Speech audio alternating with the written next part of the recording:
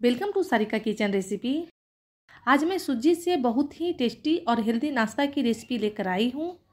तो चलिए टेस्टी और हेल्दी नाश्ता बनाना शुरू करते हैं। इसे बनाने के लिए हमें चाहिए सूजी, यानी कि रवा। तो मैं एक कटोरी रवा ले ली हूँ। आधा कटोरी दही ले लिए हैं। अगर दही खट्टा है तो दही थोड़ा कम लें। मैं ताज़ा दही यूज़ की हूँ, इसलिए आधा कटोरी लिए हैं। अब दही और सूजी को अच्छी तरह से मिक्स कर लेना है। अब इसमें उसी कटोरी से थोड़ा सा पानी डाल दे रहे हैं। तो पानी आधा कटोरी से थोड़ा ज़्यादा है। अब इसे अच्छी तरह से मिक्स कर लेना है।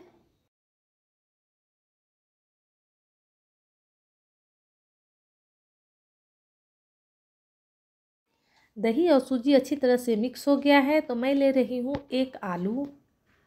आलू को हमें कद्दूकस कर लेना है। आलू को पानी में कद्दूकस करेंगे, जिससे आलू काला नहीं पड़ेगा। अगर बिना पानी का कद्दूकस करेंगे तो आलू काला पड़ जाएगा, इसलिए मैं पानी में आलू को कद्दूकस कर ले रही हूँ। अगर आप मेरे चैनल पे पहली बार हैं तो मेरे चैनल को सब्सक्राइब कर दे, बेल आइकन को प्रेस कर दे, जिससे आपको मेरी आने वाली वीडियो की नोटिफिकेशन मिलती रहे। आलू अब कद्दूकस हो गया है तो आलू को हमें धो लेना है। देखिए, अच्छी तरह से धो दिए हैं और इसका पानी निकाल दिए थे। अब सूजी का घोल में हमें कद्दूकस की आलू डाल देना है और फाइन चॉप किया हुआ गाजर फाइन चॉप किया हुआ प्याज,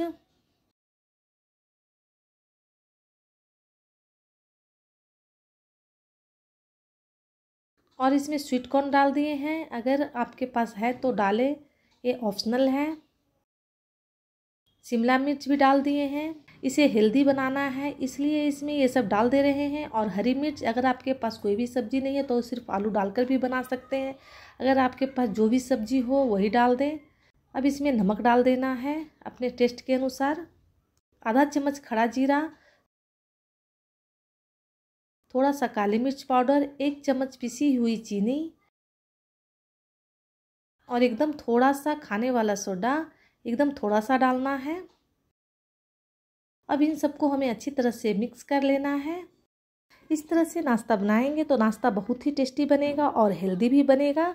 गर्मी में हमें कभी कभी एकदम लगता है कि क्या बनाए, नहीं बनाए, समझ नहीं आता है। तो आप इसे बना सकते हैं। बहुत हेल्दी और टेस्टी भी है। तो इसे एक बार ट्राई ज़रूर करें। आपको बार बार बनाने का मन करेगा। तो सब्जियों को अच्छी तरह से मिक्स कर लिए हैं।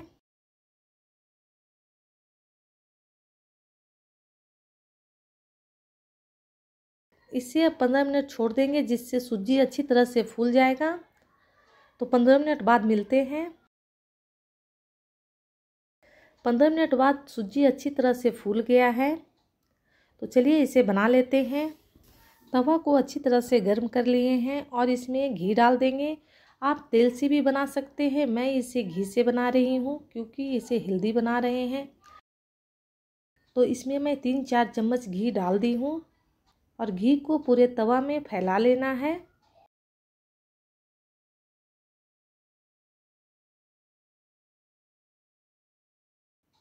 घी को ब्रश से फैला ले रहे हैं। ऐसे नहीं फैल रहा था तो ब्रश से फैला ले रहे हैं। अब इसमें एक एक बड़ा चम्मच डाल देना है। इसमें मैं चार पाँच डाल दूँगी एक बार में। इस तरह से बनाएँगे तो नाश्ता बहुत जल्दी बन जाएगा। तो मैं एक बार में पाँच डाल दे रही हूँ।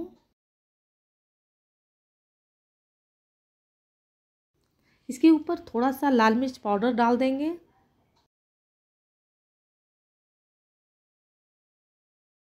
तो सारे नाश्ते के ऊपर थोड़ा सा लाल मिर्च पाउडर छिड़क दे रहे हैं।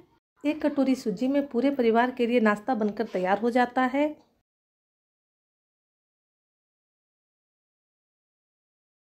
इसे थोड़ा देर कुक होने दें, लगभग एक मिनट। एक मिनट में ही एक साइड ये पक जाएगा। तो एक मिनट बाद इसे पलट ले रहे हैं।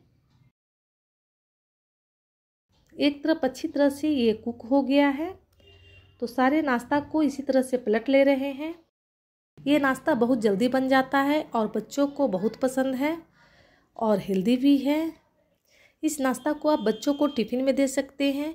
इसे आप शाम में चाय के साथ भी बना सकते हैं या तो सुबह ब्रेकफास्ट में भी बना सकते हैं। बहुत ही पसंद आएगा। सारे नाश्ता को मैं पलट ली हूँ तो इसे दूसरे साइड भी कुक होने दें। और दूसरे साइड भी बहुत जल्दी कुक हो जाता है।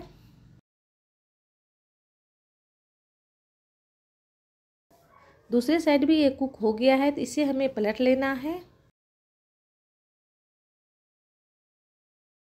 देखिए, दूसरे साइड भी कितना अच्छा कलर आया है। आप ट्राई करके ज़रूर बताइएगा, आपको ये रेसिपी कैसी लगी? तो सारे नाश्ता को इसी तरह से बना लें। ये दोनों तरफ़ से कुक हो गया है तो इसे मैं निकाल ले रही हूँ। तो आपको ये रेसिपी कैसी लगी, कमेंट करके बताएँ। अच्छी लगी हो तो लाइक करें, शेयर करें और मेरे चैनल को सब्सक्राइब करना ना भूलें। टोमेटो केचप के साथ गर्मा गर्म सर्व करें।